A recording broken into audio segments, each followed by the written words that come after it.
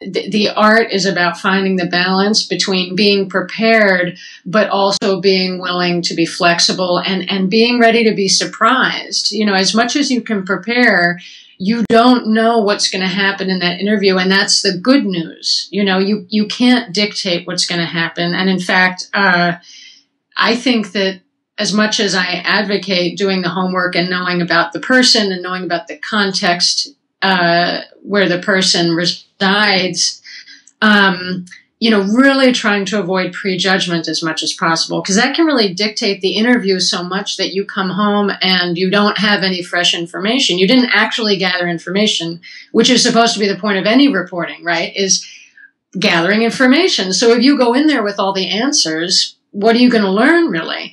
Um, and the other problem with the over preparing is wanting to show your interview subject how much you know about him or her.